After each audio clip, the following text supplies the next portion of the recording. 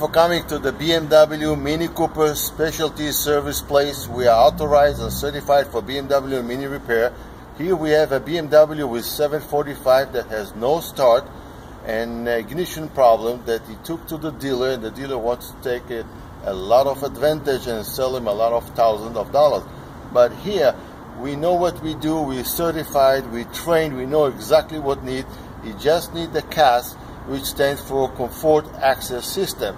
And the only thing is, is the circuit board internally was damaged. That's why the key will not operate the key and start the car. After replacing that, we did all the programming, the CIP, which is uh, individual programming and coding, and that's how the car will start and run, and the customer will be happy on his way soon. So thank you for watching, and please come back or refer to other client. Have a nice day now. Goodbye.